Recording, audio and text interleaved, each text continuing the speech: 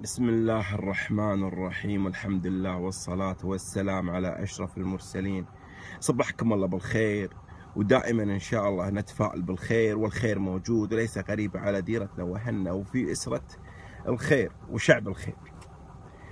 صرح عضو لجنة حقوق الإنسان البرلمانية النائب محمد هايف المطيري بتحسين إن شاء الله تسهيل أصحاب الجوازات المزورة وغير المسجلين بالجهاز المركزي إن شاء الله يصدرون لهم بطاقة. آه هذه البطاقة تمنحهم التعليم والتوظيف وتسهيل معاملاتهم وتجديد رخصة القيادة والشكر طبعا للعم صالح الفضاوة الذي استجاب لهذه الأمور ودائما يسعى في الخير وحل مشكلة البدون ووزير الداخلية